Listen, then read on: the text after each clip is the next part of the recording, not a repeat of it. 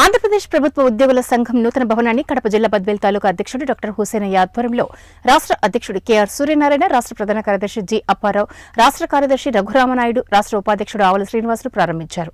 ఈ సందర్భంగా రాష్ట్ర అధ్యక్షుడు సూర్యనారాయణ మాట్లాడుతూ రాష్ట్ర స్థాయిలో ప్రభుత్వ ఉద్యోగులు ఎదుర్కొంటున్న సమస్యలను పరిష్కరించే విధంగా కృషి చేస్తామని అన్నారు. అలాగే బద్వేల్ నియోజకవర్గంలో ప్రభుత్వ ఉద్యోగులు ఎదుర్కొంటున్న సమస్యలను హుసేనయ్య రాష్ట్ర అధ్యక్షుడు సూర్యనారాయణ దృష్టికి తీసుకుని వెళ్ళారు. ఆంధ్రప్రదేశ్ రాష్ట్రంలో ప్రభుత్వ ఉద్యోగస్తులు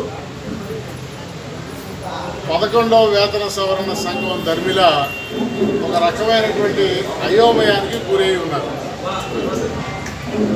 ఏంటంటే ఆ వేతన సవరణ ఐదు సంవత్సరాల పాటు వారి జీవన స్థితిగతుల్ని వారి యొక్క కుటుంబ యొక్క జీవన ప్రమాణాలని మెరుగుపరిచిందా నష్టపరిచిందా అర్థం కానటువంటి పరిస్థితి.